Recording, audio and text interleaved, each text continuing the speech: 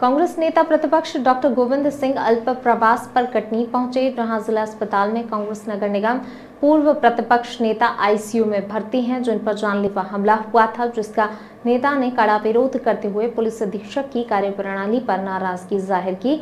इस दौरान मीडिया से चर्चा करते हुए उन्होंने कहा कि अपराधियों पर अधिकारियों का नियंत्रण नहीं है। साथ ही उन्होंने कहा कि आम आदमी के टैक्स के बदले वेतन लेते हैं और काम आमजन के बजाय सरकार के लिए करते हैं। जीवन मौत से संघर्ष करता है। पूर्व पार्षद है, नेता प्रतिपक्ष रहा नगर निगम में। आज उसकी पत्नी भी जीती। अगर प्रजातंत्र में कोई चुनाव लड़के जीत जाता है तो क्या अपराधी हो जाता है? आज तक, अभी तक पूरे अपराधी नहीं पकड़े गए। उनका एक कान का पर्दा फट गया, बहरा हो चुके हैं। 326 की धारा नहीं लगाई, जबकि किसी के पर्दा फटने पर अभी तक 307 की धारा नहीं लगी।